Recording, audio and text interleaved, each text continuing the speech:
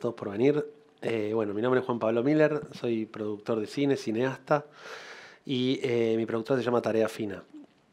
Yo trabajo en la industria desde que tengo 19 años, hice muchas películas como, hice toda la carrera de producción, meritorio de producción, ayudante, asistente, asistente de locaciones, jefe de locaciones, jefe de producción, después director de producción, y ahí abrí mi productora Tarea Fina, y con la primera película que soy coproductor fue Las Acacias, de Pablo Giorgelli, que bueno, tuvimos la suerte de, que pasó todo lo que pasó con la película, cuando hacer la vida fue realmente muy difícil.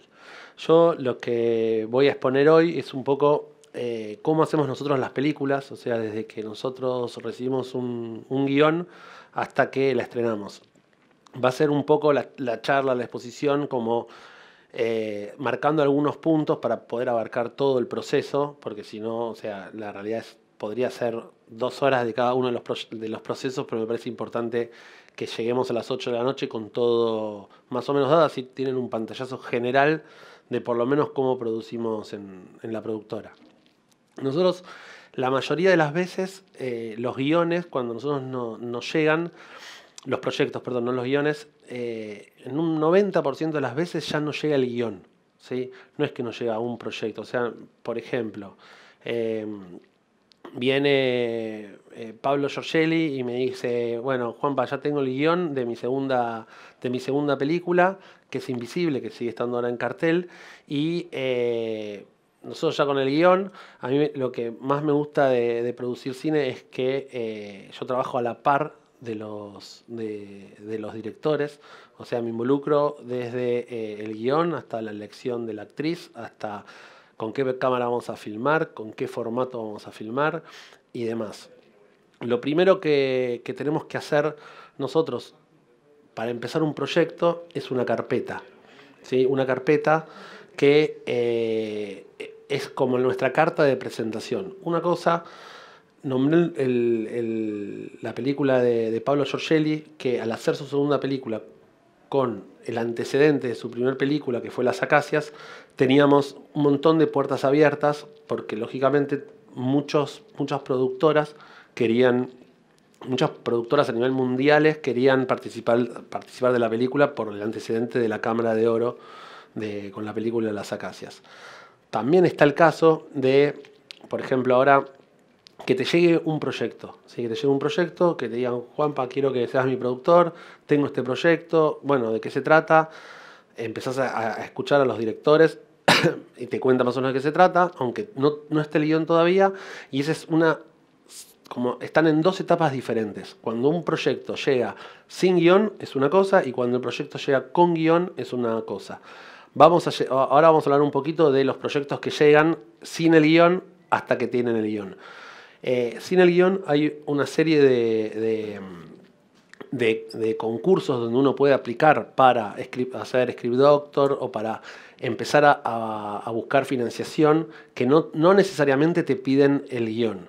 Cuando vos tenés eh, una, una película que no tiene guion, lo más importante es que a la directora o al director lo ayuden a poder eh, escribir ese guion, ya sea con becas, ya sea a, través del... Hay un concurso que es el Torino Lab, hay, hay como diferentes, eh, está la Fundación Carolina en España, que eh, les hacen un script doctor y ayudan a tener un guion más o menos una primera versión relativamente sólida. Cuando nosotros tenemos ya una película donde ya tenemos los guiones, lo primero que se hace a nivel de desarrollo es armar una carpeta.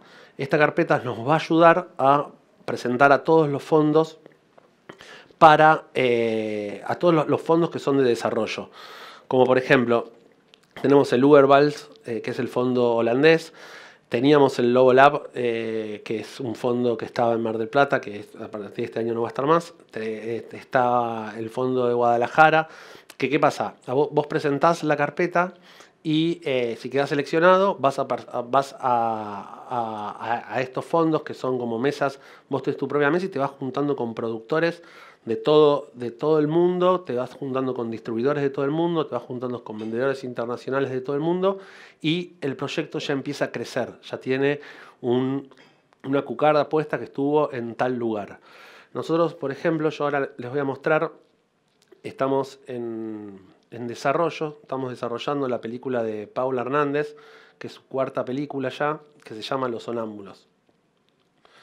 La carpeta de los sonámbulos, que es esta, ya es una película que ya tiene guion y eh, que esta es la carpeta nosotros hacemos presentación, ya sea para estos fondos que estábamos hablando o para conseguir distribuidores acá en Argentina o para tratar de conseguir eh, convencer a un vendedor internacional. Esto es lo primero que uno manda para eh, sin tener la posibilidad de que el otro tenga que leer el guion. Porque es así, o sea, vos mandás una carpeta. Esta carpeta es muy completa, podés mandar algo chiquitito. Ahora, te leen tres, tres páginas y no, no engancharon, ya está, no van a leer el guion. Porque leer un guion son dos horas de. dos horas o tres horas del trabajo del vendedor internacional. Para una carpeta, que una carpeta esté bien, tiene que tener una tapa, como tiene acá los sonámbulos. Y en el índice tiene un logline, una sinopsis, el tratamiento de la película, la motivación del director, referencias visuales, el elenco, el equipo técnico, la biografía del director y eh, los antecedentes de la productora. ¿Sí? Esta carpeta después, bueno, tenemos la sinopsis, tenemos el tratamiento, esto lo paso rápido porque son 10 hojas, para que se den, para que tengamos una idea de... Después acá tenemos la motivación, la propuesta estética, y siempre lo que está muy bueno es tener cosas visuales, donde todo lo que vos estás escribiendo se pueda reflejar en imágenes, porque el cine son imágenes. O sea, muy lindo cómo escribimos, pero si no mostramos, si no, si no podemos decir, mira, esto va... yo me estoy inspirando en estas imágenes. Entonces, bueno, Paula es muy buena en armar este tipo de, trípticos o para poder contar un poco lo que quiere hacer. Y tiene fotos de locaciones, que no, que no necesariamente, lógicamente, tienen que ser las locaciones que después vamos a filmar. Esto es una carpeta para vender el proyecto, para, salir a buscar fondos y que podamos hacer eh, la película. En esta película, bueno, tenemos ya actores ya confirmados, entonces los podemos poner. Lo que no se puede hacer es, por ejemplo, decir, eh, uno, tengo a Ricardo Darín y no tenerlo. O sea, porque no. porque eso ya sería un, una mentira. Entonces, después, bueno, el equipo técnico, siempre con una pequeña, eh, una, breve reseña de lo que cada uno hizo, ¿sí? El, el CV de la directora, el CV de la directora y el CV de la productora. Y cerramos la carpeta con un, una carpeta de contactos. Una cosa que está, que está buenísima, o sea, eh, Estamos hablando de una película de Paula Hernández, donde Paula ya es una directora recontra consagrada, donde eh, tiene la capacidad y mucho más sencilla de, eh, con un buen guion, conquistar eh, que los actores quieran trabajar con ella, lógicamente, y es un poco más fácil, la, no más fácil, sino, no sé, al presentar el proyecto en el Instituto de Cine y presentar nosotros con este proyecto, ya tenemos el interés del Inca, tenemos ganamos el programa Ibermedia, pero bueno, no me quiero adelantar a temas que vienen después. Esta carpeta, como la vieron ahora, es la carpeta que nosotros eh, usamos ahora en la actualidad para salir a buscar los fondos que nos faltan para hacer la película. Esta carpeta tiene que estar en, eh, en castellano, en español y también tiene que estar en inglés. Y tiene que tener la posibilidad de poder mandarse por mail. O sea, puede ser, esta carpeta está en alta, pesa, pesa bastante por todas las fotos y demás, pero vos te tenés que armar exactamente lo mismo, que lo puedas mandar en mail y que el mail pese eh, lo que tenga que pesar para que le llegue a la otra persona. Y no que se tenga que bajar un Dropbox y meterse y después cliquear para que se le baje. No, tiene que ser como directo, abrís el PDF y lo ves. Eso tiene que ser así. Eh, después, entonces, la carpeta que vimos sirve para todo lo que es eh, aplicaciones de desarrollo de, de, guion, o sea, no tanto para los fondos de, los fondos internacionales que son a nivel de producción, que ahora vamos a hablar de eso. Cuando nosotros tenemos un guion, una vez que yo tengo el guion, lo primero que hago cuando agarro una película, me siento varias, o sea, tres o cuatro veces con el director y le pregunto absolutamente todo de cómo él sueña hacer la película. ¿sí? O sea, ¿qué se imagina? ¿Cuántas, ¿Cuántas semanas más o menos cree que necesita pasar la película? Todos te van a decir siete u ocho, lógicamente. Y hacemos un presupuesto.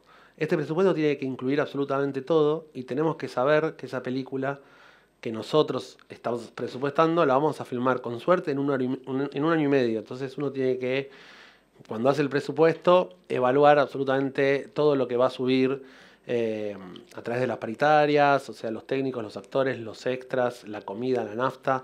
O sea, hacer un presupuesto a nivel de hoy y por lo menos subirle un 30% más para saber la plata necesaria que vamos a necesitar para hacer la película. Entonces, una vez que nosotros ya sabemos cuánta plata vamos a necesitar para hacer la película, lo primero que hago yo, que es lo que hacemos nosotros en tarea fina, que no es lo, o sea, yo cuento a través de lo que, de cómo hacemos nosotros las cosas, es presentar el proyecto en el Inca. ¿Sí? El proyecto en el Inca, vos eh, hay dos vías básicamente, que es audiencia masiva y audiencia media.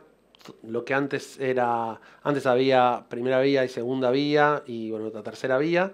Y ahora también existen las convocatorias. Ahora en el Inca hoy en día está la audiencia masiva, la media y unas convocatorias que al día de hoy no, no son muy difíciles de poder hacer una película con el dinero que, que, ganás eh, haciendo las películas por convocatoria, pero seguramente esto, esto cambiará prontamente y vamos a ver las nuevas maneras de, producir películas, pero en este momento todas las películas que, que, pasan por acá o que yo les voy a contar, si las tendría que hacer de vuelta, las presento en audiencia media.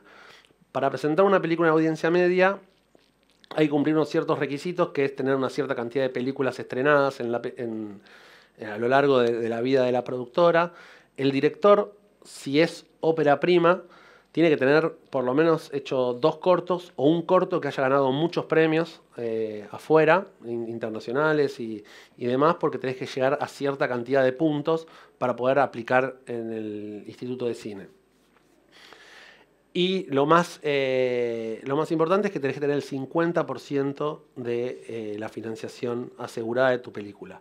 Esta financiación se, demuestra a través de los, los eh, socios que uno tenga, productores asociados o aportes de cámara, aportes de luces, aportes de equipo de sonido, plata que tenga la productora en caja en ese momento, dinero de, algún socio eh, y se arman, se arman todos los, toda la presentación, el plan económico, el plan financiero y demás y se presenta al Instituto de Cine. Es muy importante, hoy en día hacer una película es realmente bastante complicado llegar a tener toda la, financiación, entonces cuando yo leo el guion, lo primero que pienso al leerlo, primero si es, una si es posible hacer una coproducción con lo que estoy leyendo.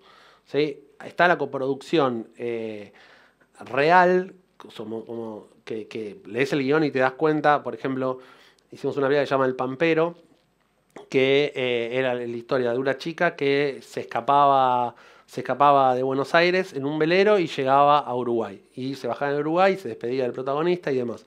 Entonces, eso es una coproducción real, porque tenés eh, Argentina, Uruguay, eran tres personajes, uno es uruguayo, y se pudo armar a la perfección. La Luz Incidente también es coproducción con Uruguay.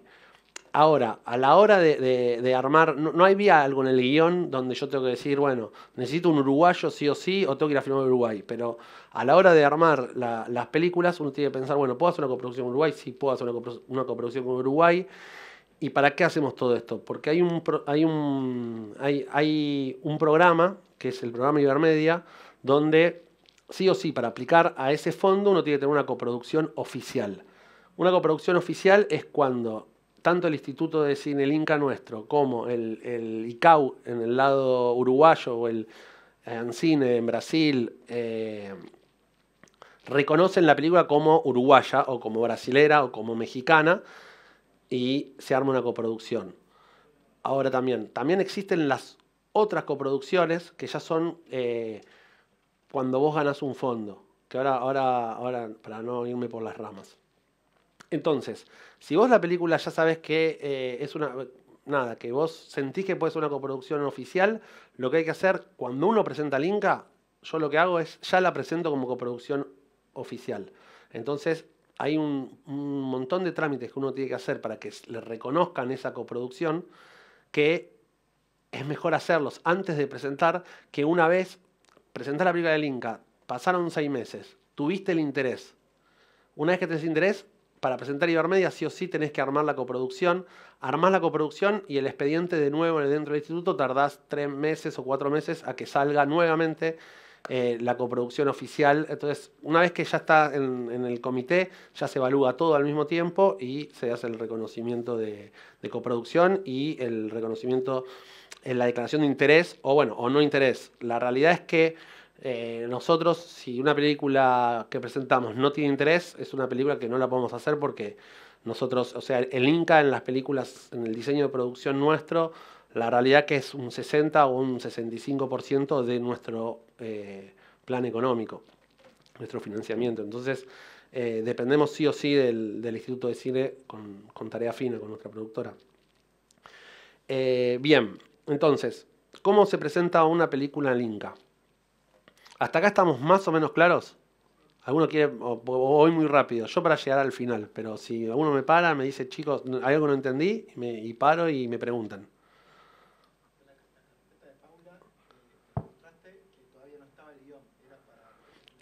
exactamente. O sea, esa carpeta en realidad sí tiene un guion, pero nosotros, por ejemplo, esta carpeta la leyó un, un, productor noruego, en inglés, le encantó la carpeta y quería leer el guion. Entonces ahí le mandamos el guion. Leyó el guion y vamos a aplicar al Sorfon, que ahora viene el tema de los fondos internacionales. Eh, pero si yo por ahí al, al, coproductor noruego le mandaba el guion y no le mandaba la carpeta, nunca me hubiese contestado, vamos a aplicar el proyecto. O sea, esa carpeta es fundamental. Y si lee esa carpeta y no le interesa, nunca me va a pedir el guion. Entonces uno tiene que, es, como la carta de, presentación y ojo, eh, yo, eh, esto, esto lo hablamos nosotros en la productora. Muchas veces lo mejor es armarlo con un diseñador, que le ponga dibujitos, que le ponga un montón de cosas. Pero bueno, todo es una inversión, ¿no? Hacer una carpeta con un diseñador y todo sale mucho más plata que si lo hacemos nosotros con PDF y con mucho amor y con toda la, porque también lo, que está bueno es lo que, lo que escribe Paula en este caso, lo que escribe Rotter, Giorgelli o Natalia, Natalia Smirnov. Entonces, es, eh, nada, es así, es muy, es muy importante la, la carpeta. Bueno, presentación. Cuando hablas de coproducción oficial y de presentar la coproducción oficial, digamos, con la, conjuntamente con la carpeta del Inca, previamente tenés que haber hecho, digamos, una coproducción. Es decir, eh, si vos vas a presentar una coproducción con Uruguay, ¿eso a vos qué trabajo te implicó previo a la presentación en el Inca? No, el, vos, si cuando presentás solo en el Inca, presentás una película argentina. Sí. Cuando presentás una coproducción, presentás una película argentina en coproducción con Uruguay, en este caso. Entonces, vos, a todo lo que tenga que ver con financiamiento, el Inca solamente te evalúa la parte financiera de la parte argentina. Y después tenés que cumplir ciertos requisitos para que sea una coproducción real. Como por ejemplo, tener un actor protagonista, uno coprotagonista, dos técnicos cabeza de, equipo, como puede ser el director de sonido y el editor, o el, eh, el músico y eh, el director de fotografía. ¿Pero eso te implica un reconocimiento oficial en Uruguay también? Antes de presentar ante el Inca, esa es la No, no, no, no, se presenta paralelamente. Paralelamente. Y todos los, en Latinoamérica, todos los, todos los, los Incas, sería todos los institutos de cine, funcionan de manera eh, diferente. O sea, yo, por ejemplo, para, en el Inca vos tenés que presentar todo y te sale el interés con el reconocimiento de coproducción. Y en Uruguay, por ahí eh, ellos presentan y dicen, bueno, esto está en trámite y puede quedar en trámite dos años. ¿Entendés? Pero por ejemplo, para presentar en Ibermedia vos necesitas que esté el reconocimiento. Entonces ahí lo apurás y sale por ahí un poco más rápido. O sea, todo en, Uruguay es diferente. Es, diferente acá porque hacen menos películas y, es de otra manera. ¿Y vas con una productora uruguaya asociada o, no? obvio, sí o sí. O sea, para hacer una coproducción oficial tiene que haber una productora argentina y una productora uruguaya o de cualquier país de, donde haya convenio. O sea, para poder hacerlo. Eh, bueno, seguimos.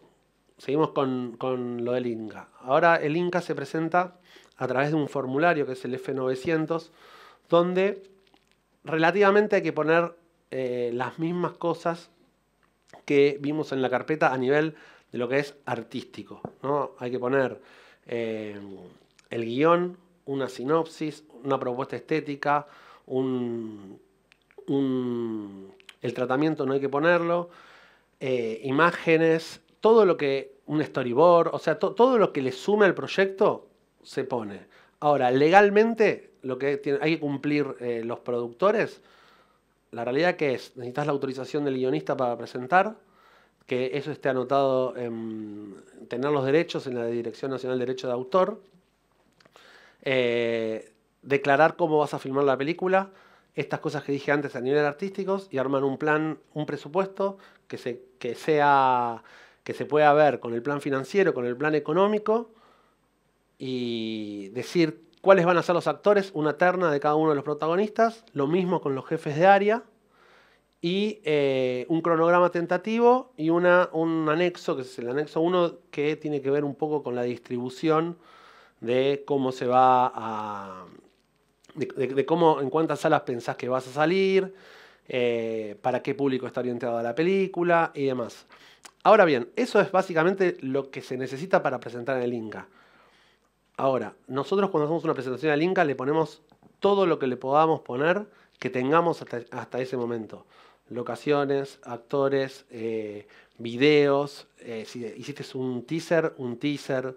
O sea, ¿por qué? Porque si sin el interés del Inca no puedes hacer la película. Y si el Inca te dice que no te des interés, volver a presentar todo al Inca con el antecedente de que ya, no sé, nosotros tuvimos la suerte de que las películas no nos declararon hasta el momento ninguna película sin interés. Pero puede pasar y, bueno, lo que se evalúa es el guion y la viabilidad del proyecto y, demás. Ahora les voy a mostrar eh, brevemente la, una carpeta de presentación al Inca que la presentamos. Este es un proyecto de ópera prima, ¿sí?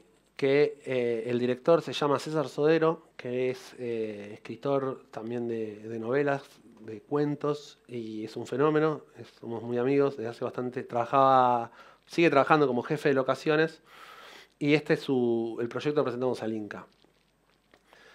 Eh, lo mismo que tenés un índice con las cosas que tenés que presentar. Presentación del formulario S900. Inscripción actualizada del productor en el Inca. Guión y materiales adicionales. Ahí donde dice materiales adicionales es todo esto que venimos hablando de todas las cosas que le podemos poner a la carpeta. Después, la constancia del eh, que el guion está registrado, la autorización del, del, guionista, los antecedentes, motivación personal y estética del proyecto y del director, las ternas del equipo artístico, el presupuesto, el cronograma. Dentro del cronograma hay que presentar el plan económico, el plan financiero y el diseño de producción la declaración jurada manifestando con qué cámara vamos a filmar, si va a ser 2K, si va a ser HD, si va a ser lo que vaya a ser, y demostrar la financiación, que tenés la plata con contratos y eh, todo totalmente eh, legalizado y certificado. Entonces, bueno, esta es una carta que yo siempre hago al comité presentando el proyecto, pero esto no, es requisito, o sea, son cosas que, yo hago el formulario. Este formulario que van a ver ahora es un formulario que se llena directamente en el Inca en línea, ¿sí? donde vas poniendo todas las cosas, eh, todas las cosas del proyecto. Eh, la declaración jurada, todo esto es, llenar las cosas del Inca que después hay que hacer este, este PDF que estamos viendo acá y se adjunta a, una presentación que se hace con un DVD y se entrega en el Inca bueno, el director, los antecedentes del director.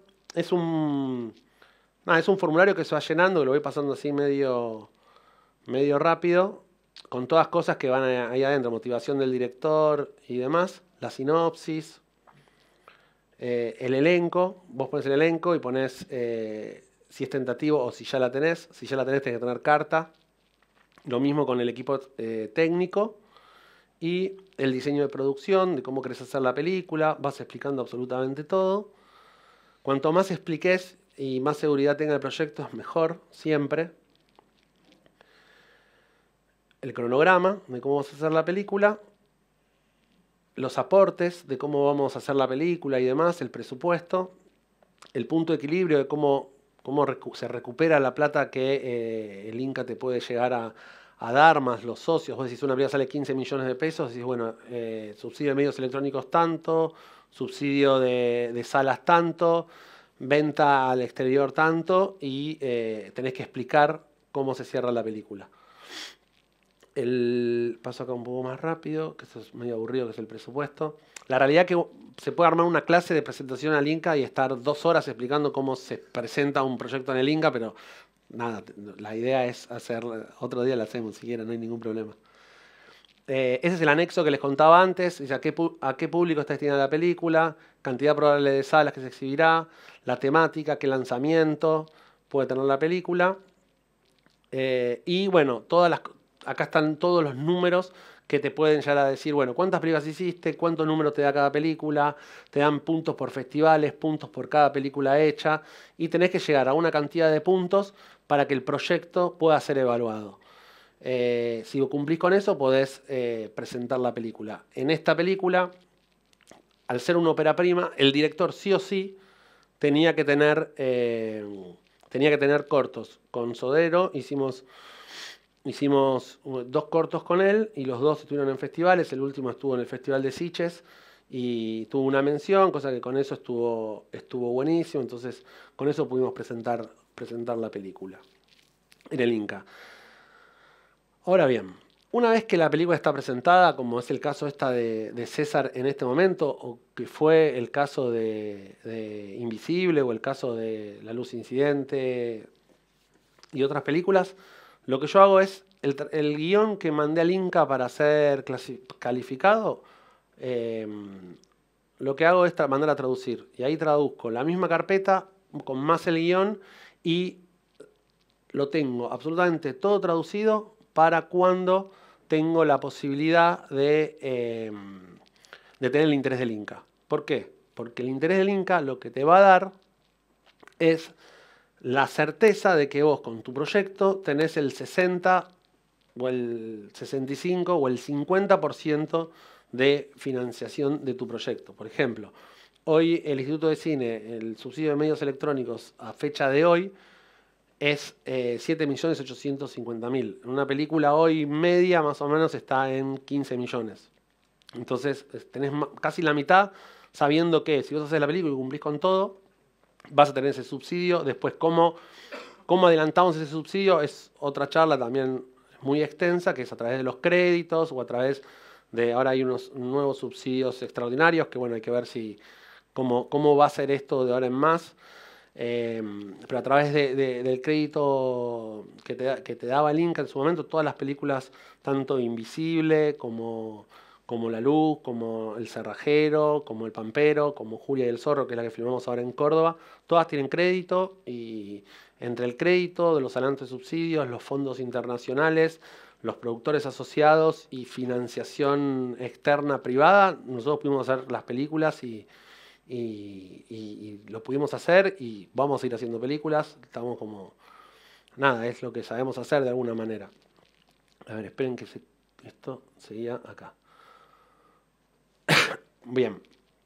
Ahora, entonces, si nosotros tenemos el, eh, el interés del Inca, tenemos nuestro guion traducido, tenemos toda la carpeta traducida, todos los números y toda las, la, o sea, la mejor carpeta posible, estamos en condiciones de presentar a los fondos.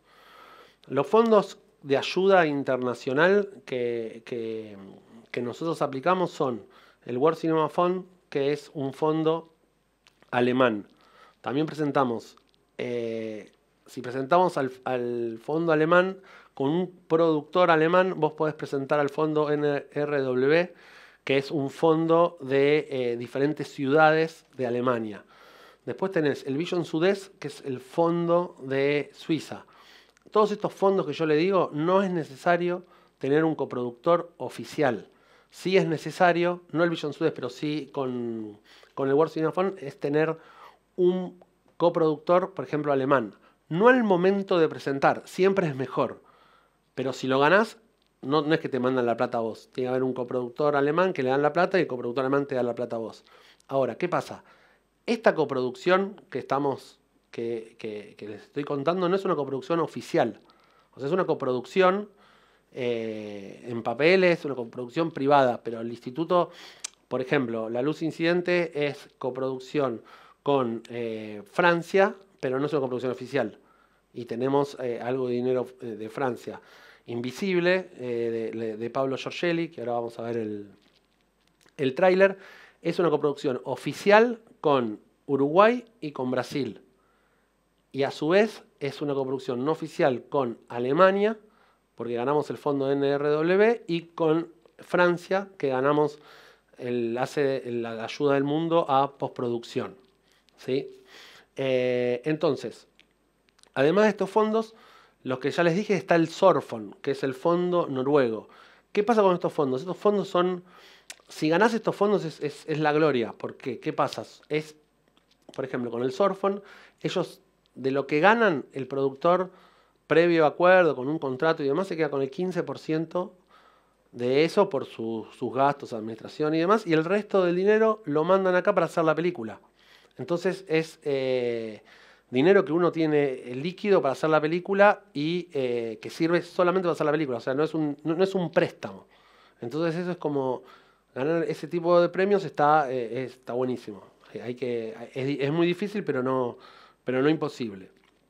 Ahora bien, eh, les voy a mostrar el tráiler de Invisible, ahora sí, que es la película de Pablo Giorgelli, que sigue estando en cartel. A ver.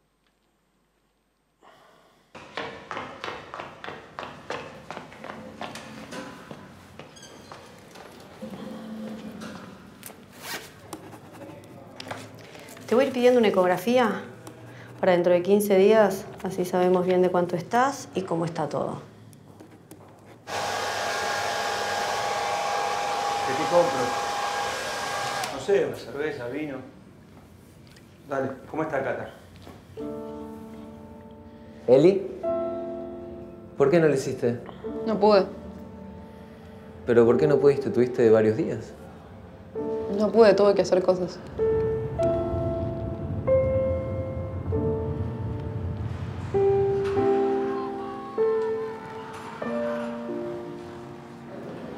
¿Todo bien?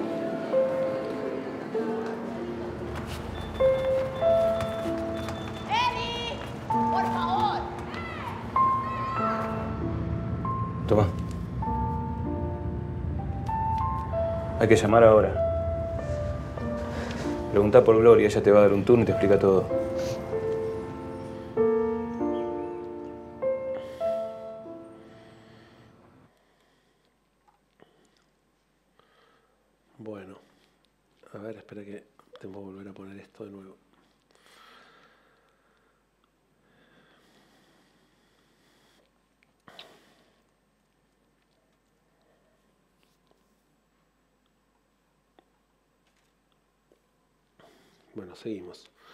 Entonces, estábamos con, con la cantidad de fondos que uno puede presentar una vez que el, el proyecto, hablamos del World, del Fund, del Vision Sudest, del Sorfond, también está el Doha y después están todos los foros de, para hacer eh, coproducciones. Está el foro de coproducción de San Sebastián, está eh, Guadalajara, que también tiene su, su parte de industria que está buenísima porque es, son, son lugares donde uno va y se junta con eh, diferentes productores, con vendedores internacionales. Y la realidad es que eh, tener un, un vendedor internacional, acá me salto unos pasos, pero eh, para, para les cuento lo que es un vendedor internacional. Un vendedor internacional es, eh, un- es una persona que agarra la película y que te va a hacer todas las ventas en el mundo, ya sea a, a distribuidores o a televisoras o a festivales. Entonces, ¿qué pasa? Cuando vos llegas con una película que no la, la filmaste, la terminaste, la estás por estrenar y no tenés un vendedor internacional, es muy difícil que la película logre todo el recorrido que puede llegar a lograr si tiene un vendedor internacional. Eh, también para las óperas primas es muy difícil tener un, un vendedor internacional. Por ejemplo, con la película de Pablo, Las Acacias, nosotros filmamos la película, la terminamos, la mandamos a, postproducción al Festival de La Habana, tuvimos la suerte de ganar ese, el, premio que, daban a postproducción y gracias a eso se, eh, se acercaron diferentes eh, distribuidores, distribuidores y vendedores internacionales que estaban, que querían ver la película, que no la habían, no la habían visto. Entonces, si no hubiésemos ido a La Habana, eso no hubiese pasado. Entonces, todos los, todos los procesos, en todos los procesos de la película, ya sea el desarrollo, ya sea con el guion y ya sea con la película ya filmada, hay festivales, hay fondos, hay maneras de conseguir eh, dinero para terminar la película. ¿Qué pasa? La clase de cine que hacemos nosotros es un cine que no tiene fecha de, estreno, no son películas eh, comerciales donde yo digo, bueno, listo, tengo que empezar a filmar acá, termino de filmar acá, edito, hago la postproducción y tengo que estrenar porque tengo un mega lanzamiento en septiembre y tengo que estrenar la película. Son películas de autor, películas eh, artísticas, películas que, nos llevan mucho tiempo hacerlas porque no es muy difícil conseguir eh, inversores que... O sea, yo, por ejemplo, con la película de Sodero, no sé qué va a pasar con la película de Sodero, no, no lo puedo saber. No, es imposible. Lo que sí sé es que para mí la película está buenísima y que siento que la película puede explotar. Pero también puede pasar que no, que no, pase, que no pase nada con la película y, y, y ya está. Entonces eh, es muy difícil convencer a los inversores privados que te acompañen en, en, en, las películas que son óperas primas o que ya no, o que no vienen con un director ya con, un, con una mochila importante. Bien, ahora, una vez que, mientras nosotros estamos esperando que todos los fondos que presentamos nos contesten, lo que hacemos es eh, hacer una etapa de desarrollo que son más o menos seis meses, donde eh, lo que nosotros hacemos es salir a buscar las locaciones principales de, de la película, cerrar el casting principal de, de la película y cerrar lo que tiene que ver con, los, eh, con las cabezas de equipo. ¿sí? Si, si, hay dudas, por ejemplo, si tenés dudas de quién va a ser la directora de arte o el director de arte, hacer ternas, juntarse, que hagan devoluciones y poder eh, llevar adelante como todo el desarrollo sabiendo bien qué es lo que uno quiere, qué es lo que, lo que está buscando el director. Particularmente ahora nos tocó que las últimas películas que hicimos, que una es Delfín, que es del director Gaspar Joyer, de, la película, es director de Samurai. Se filmó en Los Toldos, que es su pueblo natal, entonces lo, lo, que hicimos fue, seis meses antes de empezar a filmar, nos fuimos a Los Toldos y nos quedamos una semana en, en Los Toldos y en esa semana cerramos todos los personajes eh, secundarios de la película, hicimos todas las locaciones y la realidad es que en, a mí me gusta estar en esos momentos donde eh, se, se cocina la película. O sea, em, yo difícilmente eh, ponga a alguien a buscar las locaciones de la película porque es, lo que más me gusta hacer es, eh, buscar locaciones de alguna manera. O sea, porque es algo que, está, que es hermoso. Entonces, tanto eso como con los actores, como, como, el, cierre de todo lo que es la financiación. Por ejemplo, ahora en Los Toldos, el lugar donde vamos a comer, el hotel, los bomberos, la policía. O sea, yo me volví de los toldos y me pude sentar a hacer el presupuesto y decir, bueno, listo. No sabíamos qué iba a pasar con el Inca, no sabíamos, vamos a hacerlo igual porque lo, con lo que tenemos salimos de rodaje. O sea, hay una realidad. Cuando uno termina la, etapa de desarrollo, lo que marcan los libros y lo que hay que hacer es, uno no tiene que salir a filmar o a decir, cuando yo digo filmar es preproducción, filmación eh, y postproducción. Porque ahí una vez que arrancaste, o sea, contratamos a, a los técnicos, contrataste a los actores, ya está. O sea, la vida la tienes que hacer porque si no perdiste un montón de plata y no vas a poder devolver absolutamente nada y no la vas a terminar. Entonces, la decisión de decir, listo, hacemos la película, la realidad es que uno tiene que tener toda la plata para terminar la película y, y, y, y terminar la copia A y poder terminarla. A mí no me pasó nunca, hasta ahora. En todas las películas que hice, de estar en el desarrollo y decir, listo, perfecto, llegamos a terminar la película. Lo que yo sí me aseguro es siempre llegar hasta terminar el rodaje y tener 10 semanas para poder pagarle al editor de la película. Cosa que yo me aseguro de tener el corte final de la película. Con el corte final de la película, bueno, ahí, ahora llegamos al corte final. Toda la etapa de lo que es preproducción y rodaje, no voy a exponer mucho porque no es nada. En la preproducción, me hice un, me hice un punteo. Bueno, en la, preproducción mínimo tienen que ser seis semanas.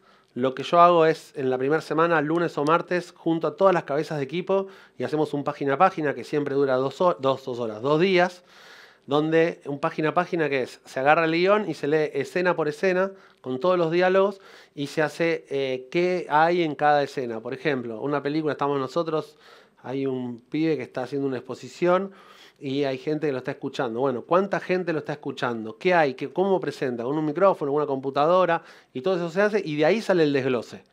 Y el desglose es el desglose fino con el que después termina cerrando el presupuesto, donde dice, bueno, quiero que haya 200 extras. No, no va a haber 200 extras, va a haber 60, o va a haber 30, o va a haber 15 y después nosotros lo vamos a duplicar, porque se puede, no sé. O sea, y, ahí, con el, en el página a página es donde empiezan las peleas, lógicamente, porque también pasa esto con todos los directores que son, todos los directores con los que yo trabajé son mis amigos, o sea, se genera una relación muy, muy linda. Ahora, en la preproducción es cuando más te peleas con el. Porque vos decís, no, mira, tenemos para 60. ¿Te acordás que hace dos meses me dijiste, Juanpa, la hacemos, la hacemos, quédate tranquilo, no, no voy a pedir nada. Con la que tenemos la hacemos y después no, pero ¿cómo? No puedo contar esto con 15 personas. Bueno, y todo eso tira y afloje, tira y afloje, hasta que salimos de, sal- salimos de rodaje y ahí se vuelven a hacer. eh, nada, se- lo que está bueno es cuando vos ves la película y está buenísima. Puede pasar que no. Y eso es, es como es, es recontra frustrante, porque o sea, uno pone la vida en hacer, en hacer películas.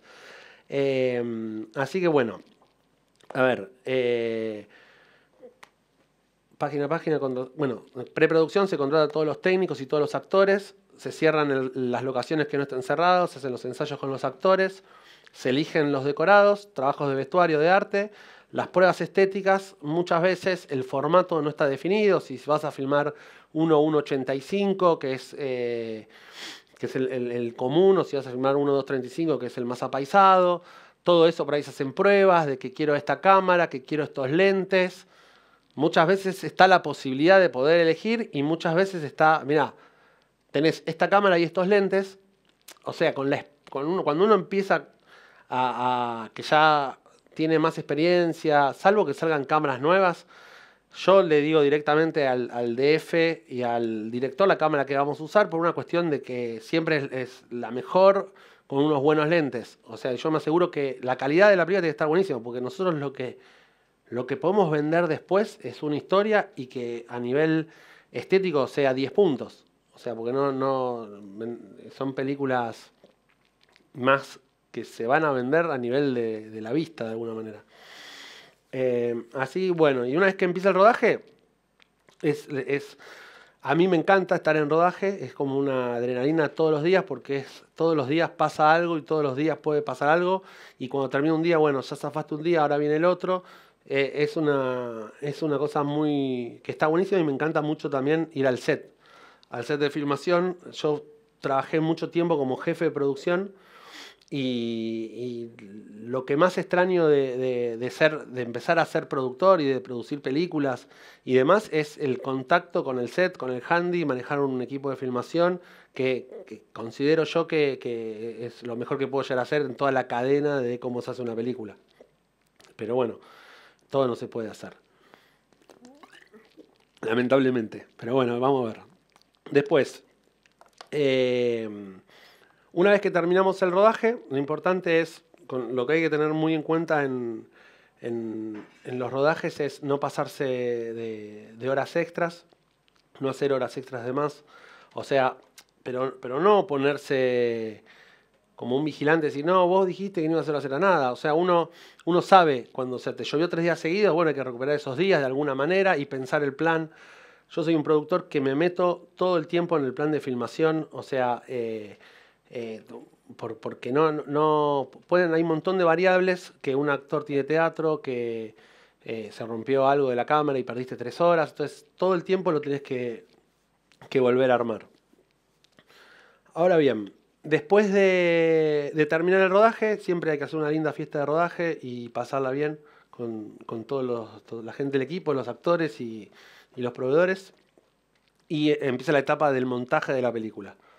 Que eh, en nuestro caso lo que venimos haciendo es, son seis o siete semanas, donde en la semana seis tomamos un descanso de dos o tres semanas para retomar las últimas dos semanas. En esas dos semanas se busca, se busca ver la, que la película se vea con amigos o con gente que a uno le interese que vea la película y que te diga las devoluciones o, que te mate o que te diga, che, me encantó o no entendí, no entendí nada, no se entiende y bueno, y ahí empiezan o, la cerramos en dos semanas o empieza todo un, tema hasta cerrar el corte final. Lo que vine hablando hasta este momento es cómo hacer una película de la manera convencional y a través del Inca y de los fondos y, esas cosas. También puede pasar, porque se siguen haciendo por suerte películas de- de otra manera. A nosotros nos pasó con la película Ciencias Naturales de Matías Lucchesi, que estábamos, haciendo la producción de El Pampero, que era su primer película. Matías en un momento me dice, che, me tengo que ir, quiero filmar, no aguanto más. O sea, pues, el protagonista era Julio Chávez de El Pampero y Julio dice, dale, me encanta el guion, quiero hacer la película. Pero puedo, no sé, en diciembre del otro año. Entonces Matías dice, che, me voy a hacer un corto a Córdoba. A las tres semanas me dice, no va a ser un corto, va a ser un largo, lo voy a hacer un largo. Todo, o sea, a pulmón, eh, o sea, entre amigos. Él, lógicamente, le pagó a la gente de Córdoba que trabajó y demás. Y me muestra un corte. Me muestra un corte que duraba dos horas y media y que estaba buenísimo. Que tenía como muchas cosas y estaba buenísimo. Y le pusimos ahí una, una editora, me subí yo al proyecto y terminamos haciendo una película que fue Ciencias Naturales, que terminó en el Festival de Berlín ganando el premio Generación. Después ganamos la, la premio a la mejor película en, en Guadalajara y ganamos una mención en el Festival de San Sebastián. Ahora, no hay una, no, hay una fórmula, o sea, es, es- es, eh, se, puede seguir haciendo películas de esa manera, es un riesgo totalmente altísimo, para mí lo puede hacer o, directores que tengan muchos amigos que quieran eh, trabajar sin cobrar y eso, que para mí no, no, no, no- está bueno, y, o tener un dinero que estar, estar dispuesto a perderlos. Ahora le voy a mostrar el, paren que no quiero que esto se me vaya de, el tráiler de Ciencias Naturales, que está, la película es muy muy bonita. No sé si la vieron.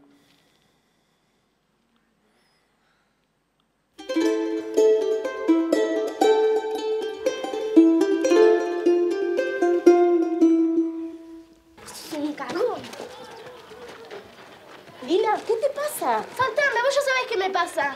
Lila,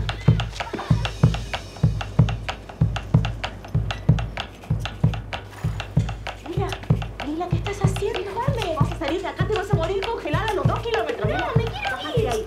Esa nena fue capaz de agarrar un caballo e irse en el medio de la nada con temperaturas bajo cero. Pero dale, vamos. Y después te agarró el auto. Sí, ya sé lo que hizo, Marta, no me lo digas, yo estuve ahí. Es un peligro. Y yo tengo miedo que lo vuelva a querer hacer. Mañana tenés que llevar a Lila a su casa. ¿Y en la casa? ¿No puede escaparse de la casa? En la casa no es mi responsabilidad. Yo sé dónde trabaja mi papá. Son 142 kilómetros. Si ella quiere conocer su papá, tiene que poder hacerlo. Él sabe que tiene una hija, nunca ha venido a verla. A mí me parece muy sano que quiera conocer a su papá. La nena va a la escuela para que le enseñen y no para que le anden confundiendo la cabeza. Vos sos la única que me entiende. Acompañame. ¿Cómo se llama tu papá? No sé. Decime todo lo que sepas de tu papá. Estamos buscando a una persona que trabaja en la empresa Electrocor. Ya no existe la empresa. ¿Estás bien? Déjame sola. A esta altura puedo haber perdido mi trabajo ya y hasta puedo ir presa. Después de que se murió tu marido, ¿tuviste algún otro novio? Yo no tengo la menor duda. que las fechas coinciden. Es el Puma. Por favor, Marta, dame un día más solamente. Verá, Lila.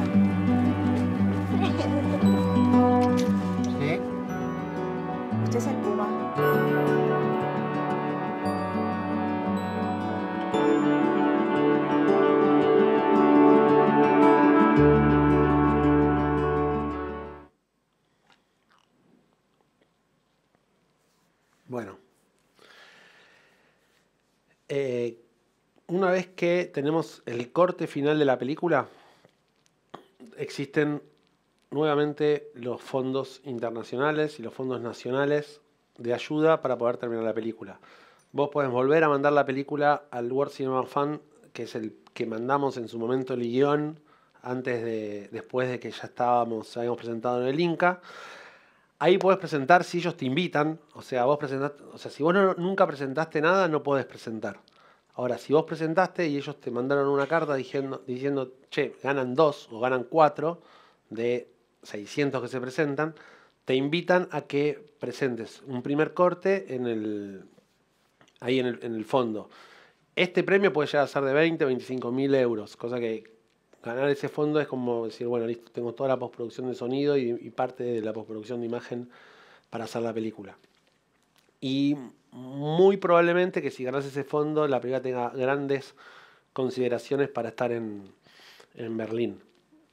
Porque el World Fund es un fondo del Festival de Berlín.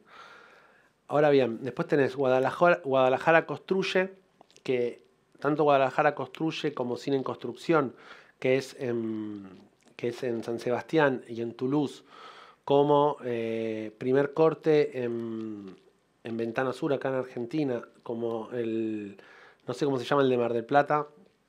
O sea, son, son todos lugares donde vos vas y mostrás la película, ¿sí? Sin, o sea, la película la, la mostrás sin el sonido terminado, sin el color terminado, sin un montón de cosas, y decís lo que te falta y lo que, y lo que estás buscando.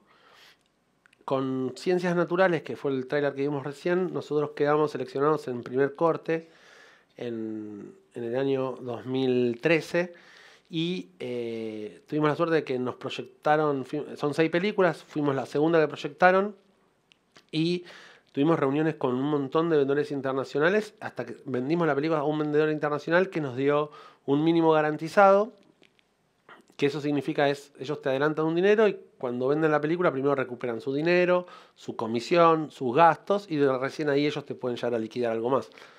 Pero nosotros con ese mínimo garantizado, Matías, que el director, recuperó el 80% del dinero que había puesto y que había pagado el servicio de producción en, en- en Córdoba. Entonces, nada, o sea, no dejemos de presentar en estos lugares, porque realmente eh, ayudan, ayudan muchísimo a que a poder terminar la película. Más allá de eso, además de haber conseguido el vendedor, ganamos eh, eh, Ventana Sur y eso hizo que ganemos un fondo en la distribución en, Francia. Entonces la película se estrenó en Francia, cosa que si no tenés una coproducción oficial con Francia o que un productor francés que haya ganado un, fondo, eh, difícilmente tu película se ve en Francia. Entonces es como, estos lugares están, están muy buenos. En, en Guadalajara hay un montón de premios. Hay un premio que lo da HD Argentina hasta el año pasado, no sé si este año estuvo, eh, que era toda la, o sea, si vos ganabas, ganabas todo el conforming de cómo terminar la película, dos semanas de color, el DCP y, y el DCP subtitulado. Entonces, es toda, toda la imagen la tenías ahí paqueteada. Ese premio estaba buenísimo. Después había otros premios, como por ejemplo la mezcla de sonido, pero tenías que ir a hacértela a México. Entonces, bueno, tenías que ir a México, tenés que pagarte un pasaje, el el- no el tuyo, sino el del director y el del sonidista. Y por ahí ahí no, no sé si vale tanto la pena, pero si vos ya te ganás un premio, por ejemplo, en Guadalajara Construye, bueno, en cine de construcción, ni hablar, está buenísimo. Es como una vidriera para lo que son los vendedores internacionales y para lo que son los programadores de festivales. Con ciencias naturales, nosotros en, en Ventana Sur, lo que nos pasó es que terminó, eh, en el medio del festival nos confirmaron que íbamos a Berlín. Entonces nosotros al vendedor, que había comprado la película, tomado la película para venderla, le pudimos decir esto. Terminó Ventana Sur, o sea, pasaron cuatro días y la película ya estaba invitada a Cartagena, a Miami, a Toulouse, eh, a Guadalajara. O sea, ¿pero por qué? Porque estaban los programadores en la sala, que no éramos más de los que estábamos acá, vieron la película y ah, ah, queremos que estén en el festival, queremos que estén en el festival. Y eso es, eh, si nosotros no hubiésemos presentado, eso no pasa. Y por ahí la película hubiese quedado igual, lógicamente, en Berlín, pero nunca hubiese ido ni a Cartagena, ni a Miami, ni a cosas, pues están pegados a Berlín, entonces no lo hubiesen visto. Entonces, eh, nada, es como muy importante no hacerlo, más allá de que salga plata, porque todo lo que uno manda sale plata. Presentar algo que me olvidé de decirles, en el desarrollo, mandar a aplicar eh, la película al Word of Fan te gastás 2.500 pesos del FedEx a día de hoy, traducir toda la carpeta, el guion, toda la propuesta estética, todas las cosas, te gastás 30.000 pesos. Entonces, hay un dinero de desarrollo mínimo, que son 50 mil pesos solamente para armar esa carpeta y poder mandarla a 3, 4 lugares. Por suerte ahora está empezando a pasar de que muchas cosas son digitales y que es cargar todas las cosas en, el, en diferentes, en las diferentes, como presentamos acá en el Inca. Bueno, después... Eh, bueno, ya hablamos de lo importante que es un vendedor internacional. A nosotros eh, todas las películas de tarea fina son todas diferentes, o sea, a, eh, nivel eh, poder de financiación hay películas como Invisible que vimos recién, que yo ya sabía cómo le iba a terminar porque tenía una coproducción oficial con Brasil, que Brasil pagaba todo lo que era la postproducción de imagen y todo el sonido. Entonces yo pude filmar seis semanas en vez de cinco, porque no me tenía que guardar la plata para la, postproducción. Pero después hay películas que uno no tiene realmente la plata para terminarla. Entonces dependés de estos fondos sí o sí, o dependés de, eh, de que alguien familiar, esto sí, te preste plata, que salgas a buscar plata con intereses, que es que lo haces todo el tiempo porque la tenés que terminar. Y, bueno, y, es así, hay que terminar las cosas que uno, que uno quiere hacer y después se ve, se ve qué pasa. Una vez que eh, estamos en una situación de que no ganas, suponiendo el peor de los casos, no ganaste nada y tenés que terminar la película, lo que hay que hacer es terminar la película de alguna manera y ahí es donde apelás a, te juntás con el sonidista, le decís, che, no, no, bancame, te lo pago después, se arma todo una, una bicicleta para decir, bueno, vamos a terminar la película de esta manera y después te voy a pagar todo, absolutamente todo lo que te debo, cuando termine de cobrar el subsidio del Inca o esto lo otro, y bueno, y uno se endeuda a más no poder, pero la película hay que terminarla. ¿Por qué digo esto? Porque cuando uno tiene la película terminada, cuando digo terminada, a la película le pueden faltar los títulos de adelante, le pueden faltar los títulos de atrás, pero todo lo que es el primer fotograma y el último fotograma tiene que tener el color, tiene que tener la postproducción de, sonido totalmente terminada y recién ahí, esto es lo que cada uno después puede hacer lo que quiera, ahí yo la mando a los festivales. ¿Por qué? Porque si no uno da mucha ventaja. Te puede pasar, porque nos pasó, que vos decís, bueno, esta película tiene que ir a tal festival porque en el festival anterior fuiste al festival de Berlín. Nos pasó ahora con una película hermosa que estamos terminando recién ahora, de Inés Barrio Nuevo. Y no, llegábamos a Berlín. Y ella ya había ido a Berlín con su primer película y, había ido a. Con dos cortos había ido a Berlín. Entonces, ¿qué hacemos? ¿La mandamos? ¿No la mandamos? Y lo que hicimos fue. Eh, la mostramos con un link diciendo, mira, no llegamos, y dice, no, guárdenla, es mejor que no, que no se vea, porque la, estábamos mostrando mal. También podía pasar que los que la ven dicen, che, está buenísima, llegás a terminarla, venga, están invitados. Entonces, es, yo estoy convencido que si esa película hubiese estado terminada, tendríamos muchas más chances de haber quedado en, en Berlín. Y, bueno, igual con los festivales no es imposible entender cómo, qué cosas eligen y qué, y qué no eligen. Bueno, eh, ¿cómo estamos hasta acá? ¿Preguntas? ¿Estamos bien?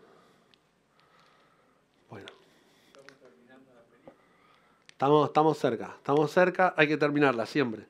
Bueno, suponiendo que eh, estamos terminando la película, eh, para cobrar la última cuota del crédito del instituto tenés que entregar la copia A.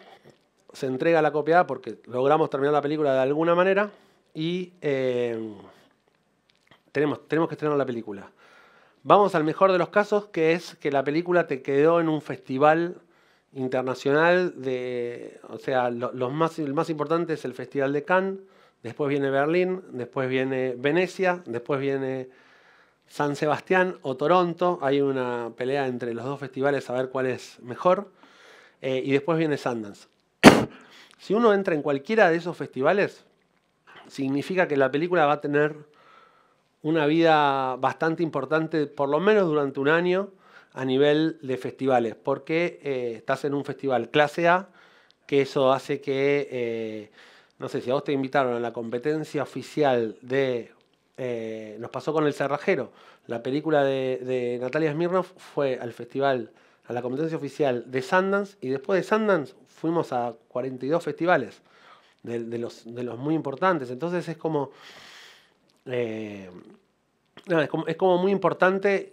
No, no hay una no- no hay nada que yo les pueda decir, che, hagan esto que van a quedar en algún festival. Podés quedar como no podés quedar y, y podés quedar mandando un link también, porque hay un montón de casos que mandaron un link y que, y que, y que quedó. Nosotros la anécdota que tenemos con, con las acacias, perdón, ¿eh?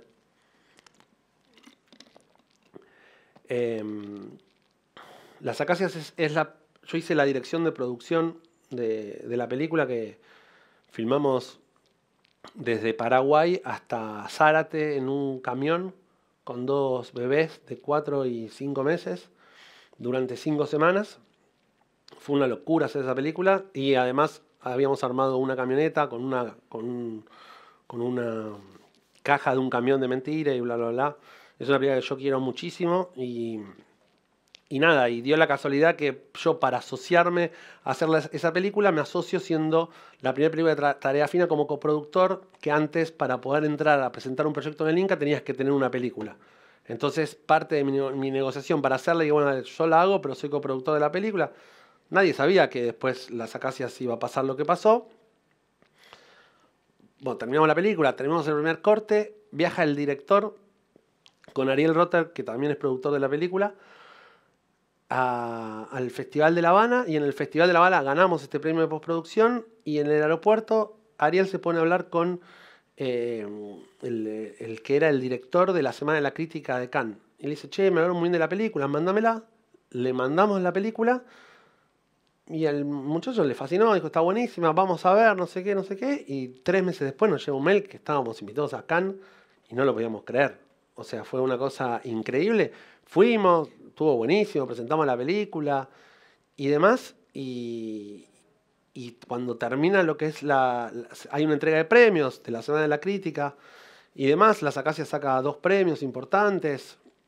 Nos vamos, yo me vuelvo para Buenos Aires. eh, Pablo y Ariel se van a pasear a, a Italia y le dicen, bueno, denme los teléfonos porque dentro de dos días es la ceremonia de la entrega de la Cámara de Oro, que es...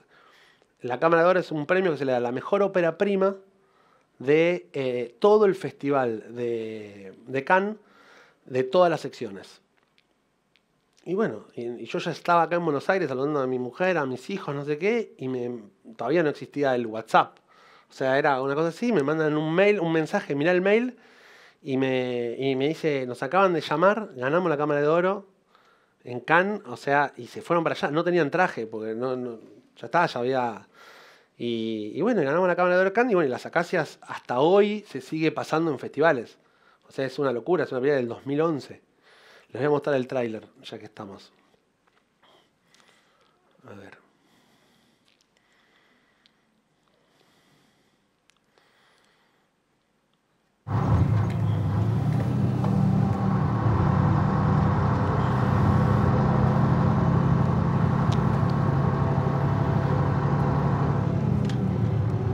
¿Usted es Rubén? Vengo de parte del señor Fernando. ¿El bebé es tuyo? Sí, es mi hija. Fernando no me dijo nada de un bebé.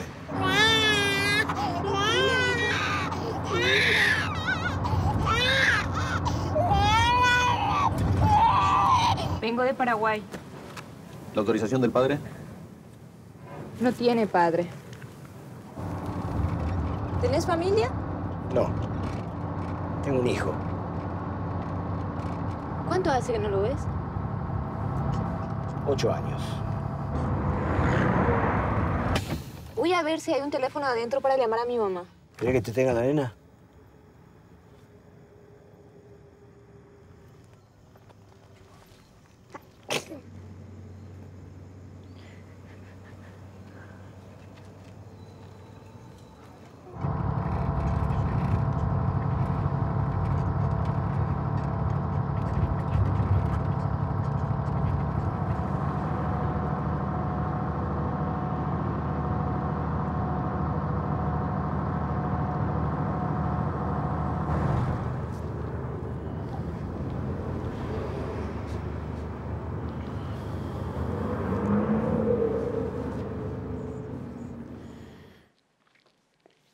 Bueno, ese es el tráiler de las acacias. Esperen que vamos a retomar de acá, así no repetimos las fotos. Aunque creo que ya, no sé.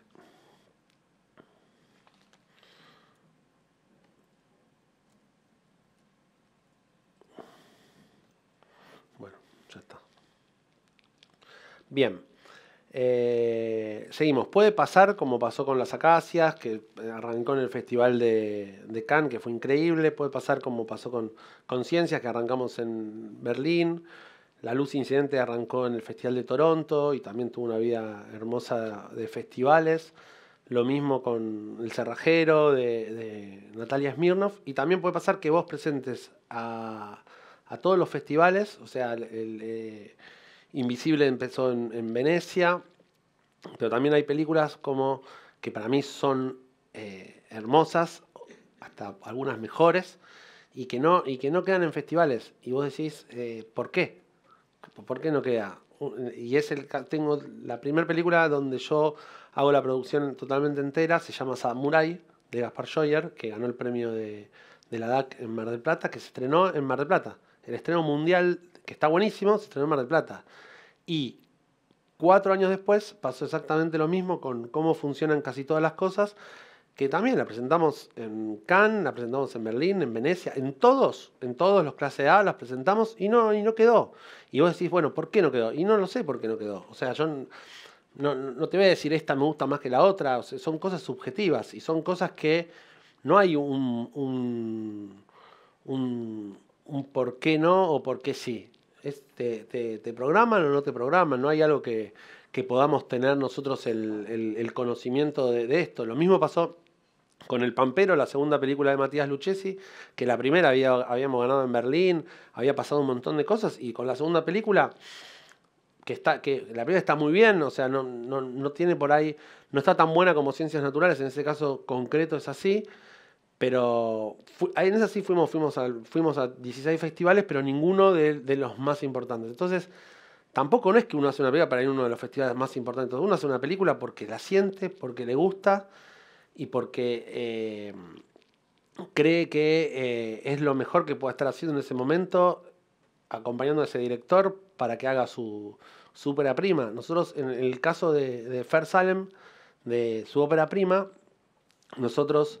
Eh, Fer tenía un guion que era una maravilla, que era cómo funcionan casi todas las cosas. Había ganado el premio Opera Prima del año 2006 en el Inca, que no eran los premios que hay ahora, que si vos lo ganás se te va actualizando y después terminás cobrando el subsidio de lo que era antes la segunda vía, sino que era un premio como a plata de hoy que te digan, bueno, mira, ganaste este premio, tenés 3 millones de pesos y nada más, tope.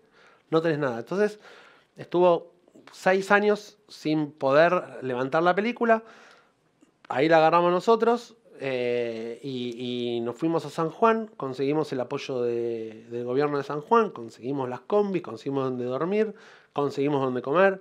Fer es un talento, es un diamante en bruto y él era de una camada del ENARC donde todos, todos hicieron la película, o sea, la directora de, de fotografía, la directora de arte, el sonido. Entonces dijimos, listo, vamos allá, tenemos cuatro semanas para hacerla, no teníamos la plata para terminarla, lo, mismo, nos endeudamos y toda la bola, y después fue lo que fue, cómo funcionan casi todas las cosas. Y ahí es donde empezamos a hablar ahora de lo que es el lanzamiento. Nosotros con la productora, yo llamo que lo que hacemos es un lanzamiento artesanal. ¿Por qué? Porque hacemos, no, no, no tenemos la suerte de tener, un, de tener distribuidoras que te digan, bueno, listo, olvídate que nosotros pagamos los afiches, pagamos esto, pagamos lo otro, ponemos las cosas. La realidad es que uno se tiene que, por ejemplo, con la película de Fer, tanto con la de Fer con, como con Samurai, como con La Luz, ahora con Invisible, lo que nosotros hacemos es, eh, yo contrato dos personas que eh, mandamos a hacer muchos volantes y vamos a volantear a todos lados donde creemos que la película puede llegar a funcionar. Y a pegar carteles y nos, eh, echan, después vamos otro día, volvemos a pegar carteles. No, no estoy diciendo que hay, haya que hacer esto. Yo le, digo lo que hicimos nosotros y que, no sé, Samurai la vieron 9.000 personas, eh, la película de Fer la vieron 13.000 personas. Bueno, la- con la película de Fer estuvimos 18 semanas, 18 meses en el, en el Malva. O sea, fue increíble lo que pasó con. Fue increíble lo que pasó con esa película. Y eh, ahí vuelvo a lo mismo. Hay que ponerle el cuerpo a las cosas. Si uno no le pone el, cuerpo, tanto al lanzamiento como al desarrollo, como la producción, como al rodaje, las cosas después no, no funcionan. Y cuando las cosas no funcionan, uno no se las puede reprochar. Uno se puede reprochar si eh, no hizo lo que tenía que hacer o no le puso lo que tenía que, que ponerle a la película. O sea, yo siendo la producción de cine eh, de esa manera, o sea, para mí hacer una película es un... eh, nada, estamos haciendo algo que va a quedar para toda la vida y, que está buenísimo. O sea, y como productor de la película me, siento, además de que lo soy, el dueño de la película, me siento parte del director, de alguna manera. Yo lo acompaño en, todo el proceso para que él, para que él pueda hacer su película. Eh, le voy a mostrar el tráiler de cómo funcionan y después vayan pensando en preguntas.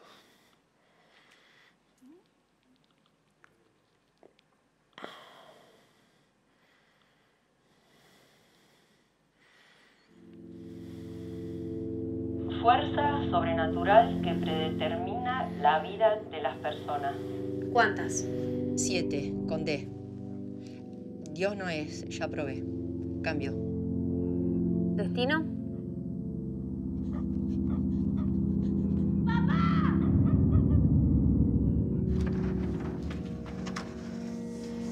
Ahora que murió tu viejo te vas a la mierda, ¿no?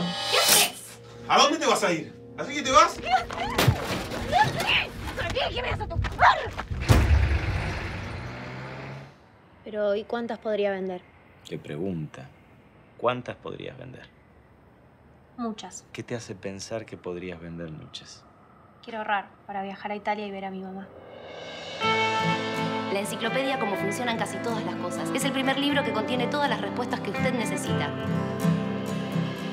¿Andan vendiendo? Tenés que estar preparada, Selina. La gente es muy puta, ¿eh? Tu mamá no se fue a Italia. ¿Puedo bajar? No, te quedas ahí. Que no viene nadie.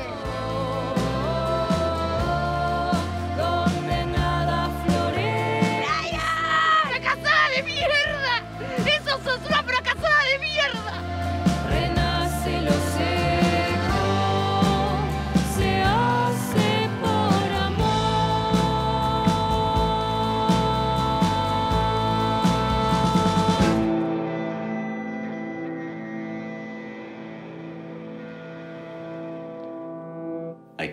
tienen explicación. Y ya está.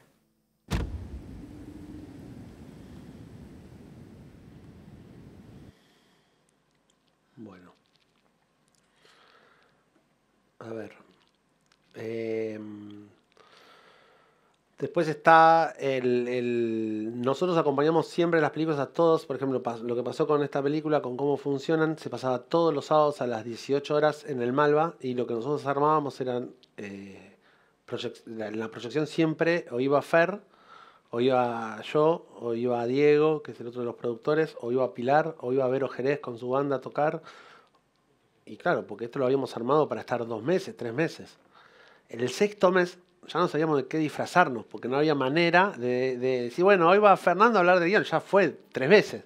Entonces era todo, eh, in- inventábamos, sorteábamos guiones, sorteábamos, eh, Fer es, es un genio, hizo una, bueno, la película esa tiene unos actores que no, increíbles y, y no impagables. Marilu Marini, Spregelburg, Pilar.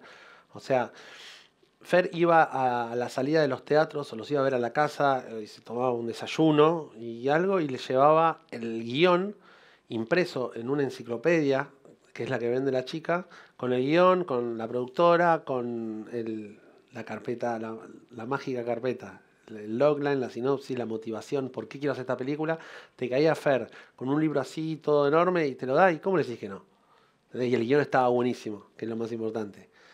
Y, bueno, y la película estuvo un, un, año y ocho meses en el Malva. O sea, en el estreno comercial metimos 5.000 personas y después metimos 8.000 personas más en todos los fines de semana en el Malva, que fue increíble.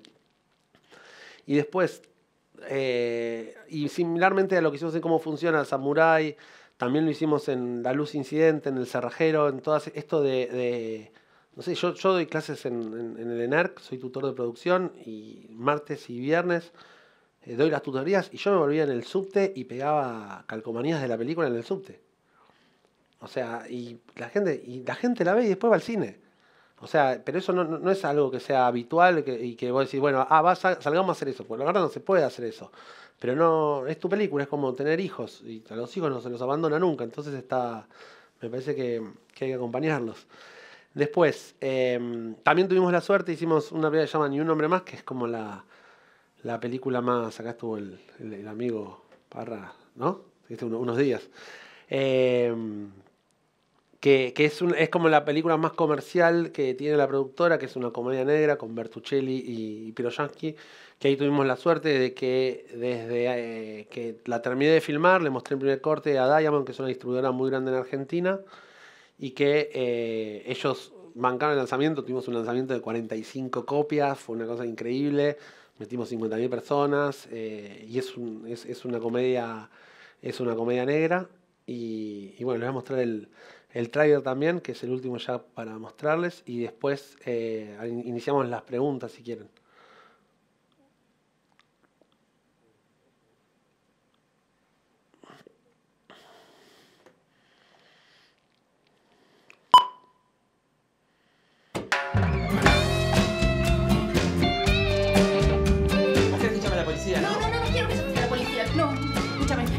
Doy.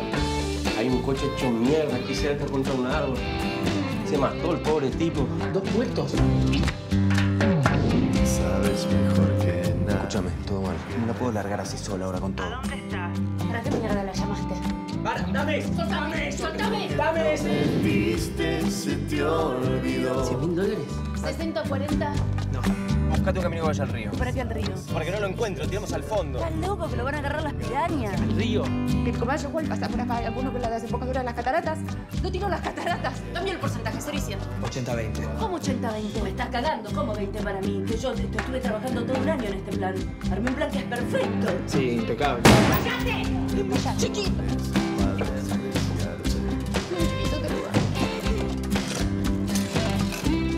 Está pisando. Pasa que te ves, vos no encontraste a la persona que te vea tal cual sos. Pero no falta mucho, ¿eh? Acá está.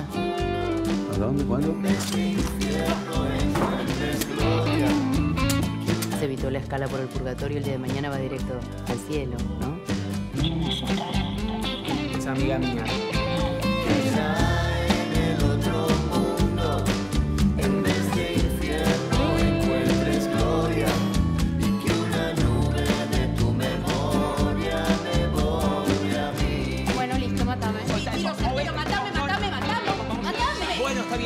65, Perfecto, 60,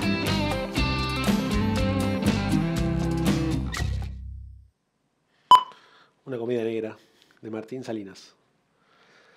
Bueno, eh, ¿alguno tiene una pregunta? Pregunten lo que quieran, aprovechen. Si sé, se lo respondo. Y si no, les digo que no sé. Está todo bien. Con el micrófono. Eh, vos decías que, que hacen películas de autor y que el camino que hace la película es a veces largo, sobre todo si participan de los festivales, por ahí hasta el estreno comercial y hasta donde sé, eh, para el Inca hace falta el estreno para que vos termines de, co- de cobrar, cerrar la película, etcétera. ¿Cómo manejan ese, ese delay entre el final de, entre que terminan de hacer la película, el estreno oficial. Mirá, nosotros lo que, lo que hacemos es un poco, la- las películas las pensamos, eh, eh, por ejemplo, la película de, de Invisible la teníamos, que tener- terminada para el Festival de Cannes porque su primera película había estado en Cannes. Entonces, apuntamos todos los cañones ahí, no quedamos en Cannes, quedamos en Venecia y ya estábamos como para estrenar, la película se iba a estrenar en San Sebastián, en San Sebastián, después de Venecia, o sea, en septiembre. Y mientras estábamos en San Sebastián nos confirman de Mar del Plata de que estábamos invitados a la competencia oficial. Entonces no teníamos la, o sea, para ir a, para ir Mar del Plata tiene que ser estreno argentino. Entonces teníamos que pasar el estreno. Ahí eh, decidimos estrenar la película en marzo. Yo dije, tenemos el Día de la Mujer. No, sabíamos que iba a pasar todo lo que está pasando, que se está tratando el, tema de la ley del aborto y demás. eh, y, y tuvimos que pasar la película y eso tenía un costo financiero. Pero también era no ir a Mar del Plata si estrenábamos. Y la verdad que eh, nuestras películas, no, o sea, con Invisible internacionalmente nos fue súper bien. La crítica, hay un promedio de críticas de 7,8. La gente que la va a ver le gusta la película, pero la realidad es la gente al cine no, no fue mucha gente. Vamos, hay mil personas y, y no. Es difícil. eh, Lo más complicado de todo esto que expliqué es la distribución. En Argentina hay un, no, hay un gran problema de distribución para esta clase de cine. O sea, todas las películas que yo te- fui contando, salvo Ni un hombre más, que es ot- otra clase de, cine, porque es una comedia negra y demás, y con un lanzamiento eh, bastante costoso, no sé, eh, las películas que antes metían 50, 60, como fue el otro de Ariel Rotter, o Las Acacias misma, hoy eh, La Luz Incidente metimos 20.000 personas, y es para tanto, ganamos los premios Cóndor a la mejor película, los premios de la Academia, los premios Sur a la mejor película del año 2016 y la película la vieron 20.000 personas.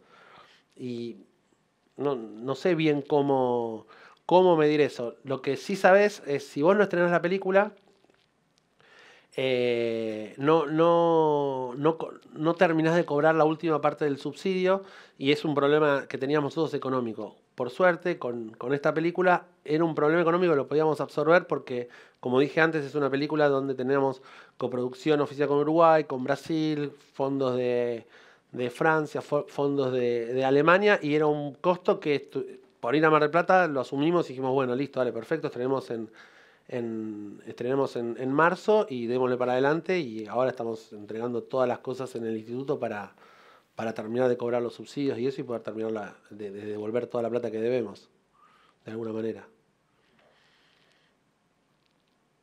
¿Quién más? Sí, acá. Eh, yo vuelvo al principio de la charla, cuando hablaste de que este, tu teoría era que era mejor presentar al Inca ya con la coproducción oficial. Pero ¿cómo llegas ahí? Porque si vos no tenés el, parte del financiamiento, que sería estar calific que la película esté calificada, ¿cómo vas a buscar eh, plata afuera? No, po- por ejemplo, eh, nosotros, este es el caso, por ejemplo, de, de Invisible. Nosotros Invisible, eh, si alguno vio la película o la ve, la realidad es que no tenés eh, algo de guion que sí o sí tiene que ser una coproducción oficial. Sí, eh, te- había personajes que son uruguayos y hay personajes que son brasileros.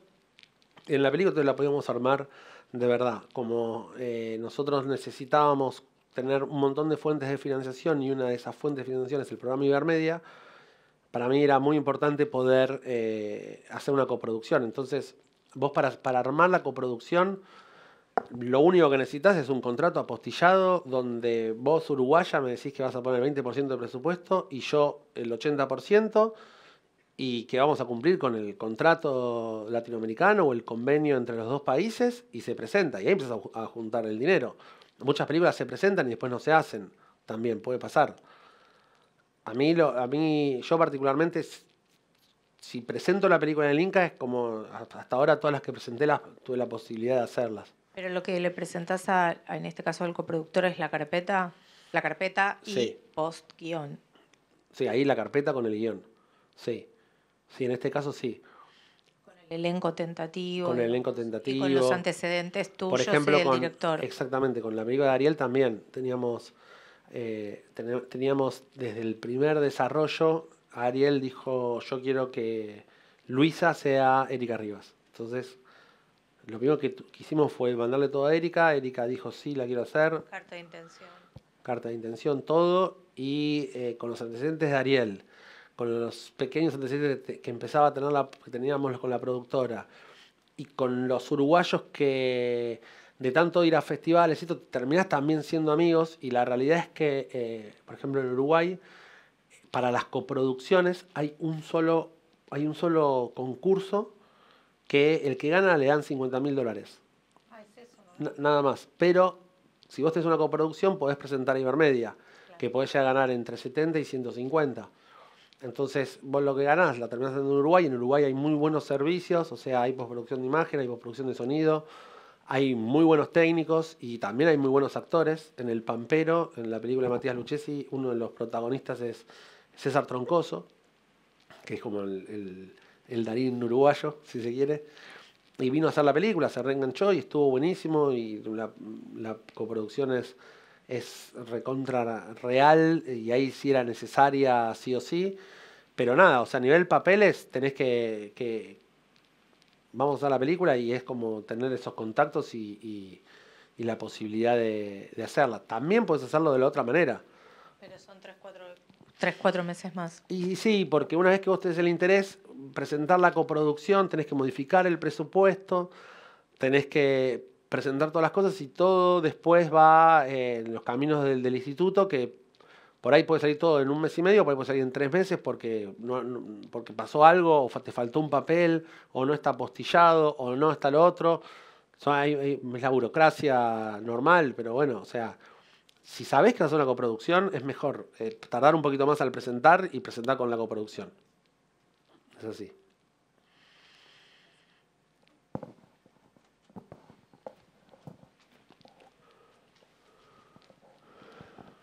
Hola, muchas gracias por la charla.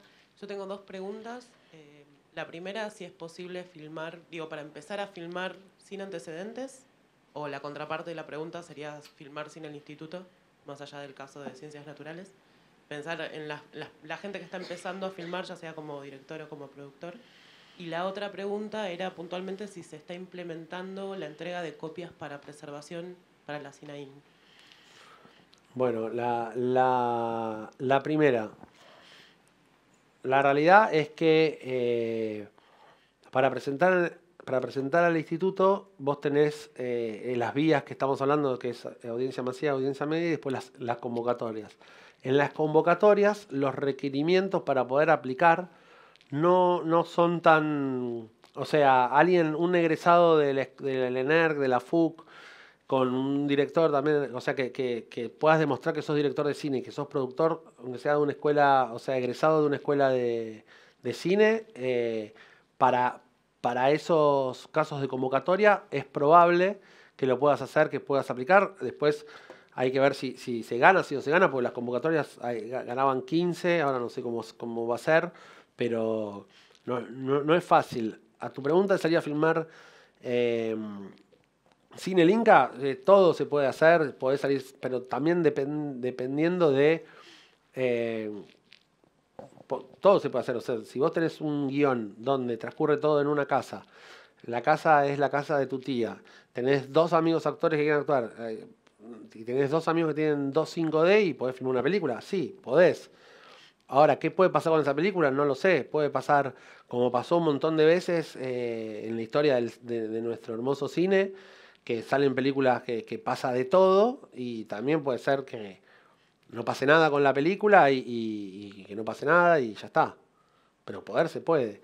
Y con respecto a, lo de la Cinein, sí creo que se está empezando a implementar. Nosotros ahora con, con Invisible la vamos a entregar y, y, sí, ya en soporte digital, ¿no?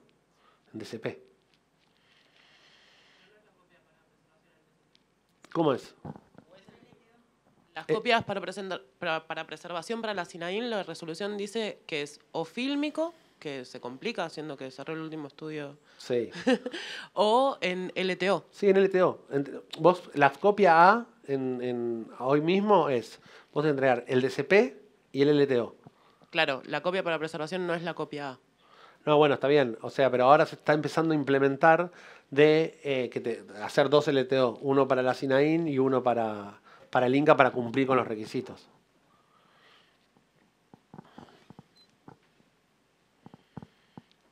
Ese es el sonidista de las acacias.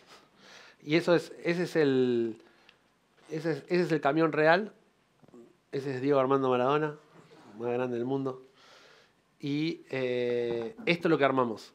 Armamos un carro donde eh, en todo eso nos hicimos el viaje desde Paraguay hasta Zárate. Fue increíble. Estuvo buenísimo. Yo había pintado dónde se sentaba cada uno con aerosol y que nadie se mueva y, y demás porque era muy peligroso además. Estamos en la ruta, la 14. Perdón, bueno, muchas gracias también por la, por la charla. Yo te quería consultar, porque llegaste al momento del lanzamiento y bueno, todo lo que pasa con los festivales y demás, y, vi que en una de los, este, las imágenes que pasó, eh, que cómo funcionan, llegaron también a, a Netflix eventualmente. Me imagino que eso ocurre post todo lo que terminaste de contar con lanzamiento, estreno, festivales y demás. Eh, ese mundo que es, me imagino, bastante nuevo, eh, cómo, cómo se maneja, te, vos vas y lo ofreces, cómo, cómo fue la cosa, digamos, con eso. Mira, con la realidad es, eh, la película está en, en Netflix, ya está disponible, se puede ver. Eh, hay agregados, o sea, hay, hay varias maneras de venderla a Netflix. Vos la podés, la mejor manera de venderla es que te la venda algún vendedor internacional de los de afuera, ¿sí? Porque tienen como más llegada y el precio que te pueden llegar a, a pagar por, por la película es mucho más alto que si la por ahí la vendes desde acá con lo que pasó con cómo funciona, cómo, cómo funcionan al estar tanto tiempo en el Malva y todo el movimiento que se armó y lo bueno que está la película, se la mandamos a, a uno de los agregados. Netflix tiene agregados en Argentina, en Brasil, en México, eh, y vos la mandás, él la, la- muestra y dicen sí o no, y dijeron que sí. Y la vendimos, tuvimos que hacer una serie de deliveries, que son los materiales que uno tiene que entregar estuvieron bien y, y chau, y la película está en Netflix y está buenísimo porque la gente la sigue viendo, entonces está, está bueno. Y está bueno que, que- que perdure eso también. Ahora, el eh, Invisible también va a estar en Netflix a partir de, de agosto, por suerte, y ni un hombre más también la habían vendido a Netflix, est- esta distribuidora que había, nos había ayudado mucho con el lanzamiento. Eh, para todo, pa- para... A ver, yo no conozco al distribuidor de Ucrania, alguien que, alguien que quiera comprar mi película eh, en, no sé, en Portugal, en China, y esta gente se dedica a vender películas. O sea, si, si vos tenés un vendedor de, de- los buenos, casi siempre si vos vas, creo que eso me lo salté, si vos, por ejemplo, nosotros ahora terminamos de filmar Delfín, que es la segunda película de, de Gaspar Scheuer. Estoy haciendo el corte, la voy a terminar y la voy a presentar. Sueño con que la película quede en Berlín en generación, porque es una película con un nene de 11 años, bla, bla, bla. Ese es mi objetivo, madre, hacemos fiesta, sería genial.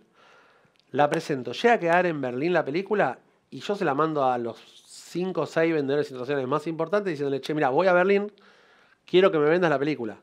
Entonces, eh, si te la toman, si, si te la toman ahí, ahí arreglás un porcentaje que ellos se quedan de cada venta, los gastos que tienen, cerrás el deal y te olvidás. Solamente te quedas con Argentina y ellos te dicen, che, la vendí acá, fui a tal festival. Ellos se quedan con el 50%. Muchas veces los festivales pagan un fee de proyección porque vaya tu película. Entonces, con las películas que hacemos nosotros, muchas veces hay más plata que te puede llegar a llegar por la cantidad de festivales que se ve que la película se haya vendido. ¿Entendés? Porque hoy en día, no sé, un festival te puede pagar 500 dólares, o 700, o 900. La mitad de eso se queda el vendedor, pero la otra mitad el vendedor te liquida. Siempre y cuando ya hayas recuperado el MG. Yo lo que hago si tengo un vendedor, siempre le pido un mínimo garantizado, que después de eso nunca me pagaron más nada, porque nu- nunca llegás a, a, che, no se vendió, che, o esto, o no, ahora recuperé, te dicen. Bueno, listo, está todo bien, o sea, la- sirvió, o sea, es, es hacer los números y ver que no, que no te engañen. Pero, pero sí, sirve, sirve. Y lo de Netflix está bueno, pero nada, es difícil, no es tan, no, no es tan fácil. Y ahora están reduros para comprar y demás. Veremos cómo, cómo sigue después. Si no hay más preguntas, muchas gracias por escucharme. Perdón si se aburrieron un poco, pero es la primera vez que di una charla de dos horas. Así, gracias.